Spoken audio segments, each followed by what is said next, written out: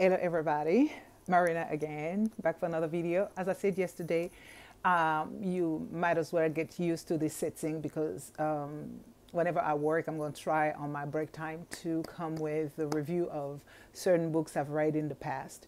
And today I wanted to review a collection of short stories that I read last year, but I didn't take the time out to come out and to come and talk to you about. And that collection is this one, Coming of the Dry Season by Charles Mungoshi. Uh, for those of you who, who, follow me, who've been following me for the longest time, you might remember in one of my um, book haul, I talked about this one, and I was surprised to see how small this one was, though it contains 10 short stories. And the reason why I'm reviewing it because is because I really, really loved it when I read it. I was happily surprised by uh, the density of the messages in there and how he he succeeded into sharing many um, opinion in such a short um, amount of pages. Like within two pages, it holds you an entire, a complete story with uh, uh, well-built characters, with a very clear setting, with an atmosphere that was really, really well defined you have to know that the stories were all set during Rhodesia, the now uh, Zimbabwe, but back in the days he wrote this. It was Rhodesia, so we were in the time of um, colonialism. The British people were still ruling all over the country. So there was a kind of, uh, not a kind of, there were racism in the country, and black people, the natives, were still inferior to uh, the white ones okay? White people were the masters were the leaders of the country and black people had to conform. And in most of these stories you also face the dichotomy of uh, one's identity because there are many native people who have a hard time dealing with the tradition because they try to keep their traditions alive. But then again to survive in this the, the, the country they have to conform to the rules of uh, the colonizer. There are many different short stories in there. One of them is the coming of a dry season. Okay, I'm not going to go in deep with all the the short stories just because they are very short and if i start talking about them in deep i might just give away everything that is said there what i would like to, to, to tell you though regarding the coming of the, uh, the dry season, which is the eighth story in this collection, is that it deals with the dryness of emotion, the dryness of feeling, as well as the dryness of the pocket. Okay? Uh, in this story, we, we, it tried to tell us how heavy it is to be the eldest in the family because in African traditions, the, the firstborn is um, often the one who takes care of the family, who takes care of everybody, no matter what. What that that is what is expected of him. Uh, especially if he is successful. If, if you have many siblings and if you are the eldest and you didn't succeed in your life, it's not a big deal. Your little brothers and sisters are supposed to come and back you up. But if you're the eldest and you succeed, all eyes are on you and you're not supposed to uh, have a personal life kind of you have to think about everybody and then with the remaining of your own uh, making you have to think about yourself. So you are the last person on your own list.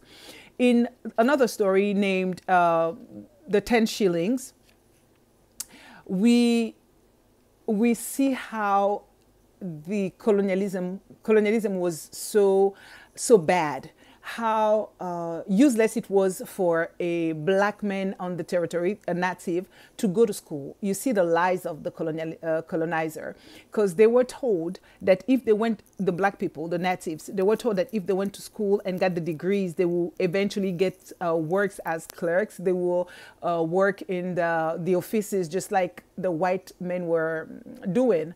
But here we have the story of this, this man who succeed in his studying and decide to go to the capital city to make it, only to discover that there are many of them who have succeeded, who get the degrees, but still, no matter how old you be, no matter how great you are and how many degrees you have, you still, you will always be the boy to the white man. And you don't need to have a brain when you're working with a, a, white man because the white man is omniscient.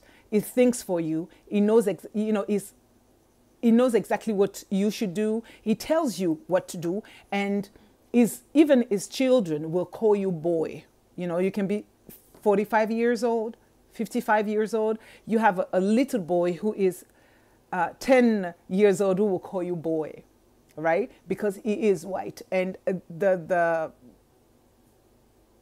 the color of his skin allows him to be considered more important than you are. There's another story that re- I really, really loved, which was uh, The Lift the lift was very interesting. It, it, I'm going to sum it all up like two little boy uh, who lives in the street, so street kids, um, decide one day to change their routine because every day they do the same thing. They work in the street and do other stuff. But that in that particular day, they decide that they want to get into a lift just to get you know, to, to, to be lifted from the ground, go see what happens in the buildings and come down. When they get it in, uh, when they make it in the building, they encounter a black man who start asking them a bunch of questions only to deny them access to the lift at the end. So both of them don't understand why they are denied they denied the entry the, the, the entrance to the, the, the lift.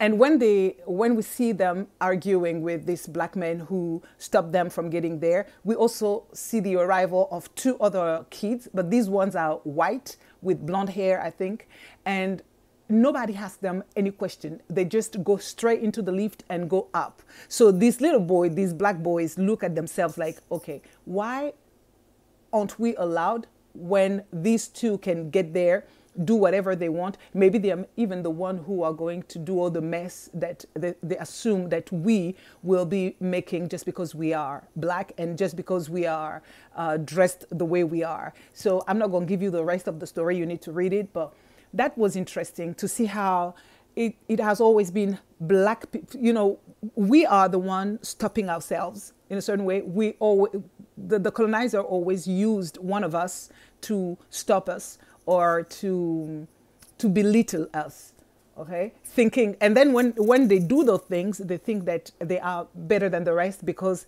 they are loved by the master or they are loved by the one who are ruling. But at the end of the day you just realize that you are just as much a servant as i am. I love that one because of that. The, the, the story is really really well told. There are many many many many good stories in there. I said there are 10 of them, and let's say that out of 10, I really appreciated um, um, seven of them. So the three one that I kind of just liked were okay. Okay, so this one is a book that I recommend to all of you if you're going to do those uh, readathon and to participate in any kind of um, if you need a quick read or you want to see the atmosphere in the now Zimbabwe, but back in the days it was Rhodesia, yes, give this a try. Charles Mungoshi definitely have a way with words, and I know I, I love the, the, the the settings. From when you jump from one story to another, you feel like you you are reading different writers. I love the way he shifted voices. Um, you, you, don't feel like it's the same whole story that is being told to you. It, it, it just it is as if different writers were telling these stories, but different good writers.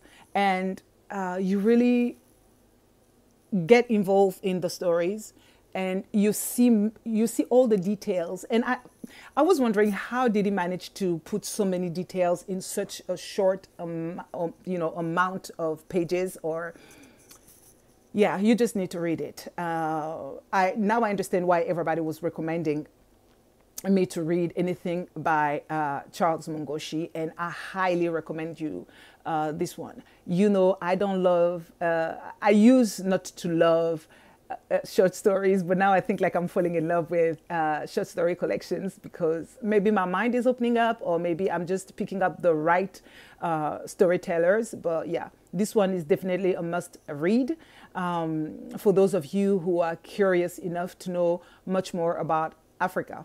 So voilà. Charles Mungoshi, coming up the dry season.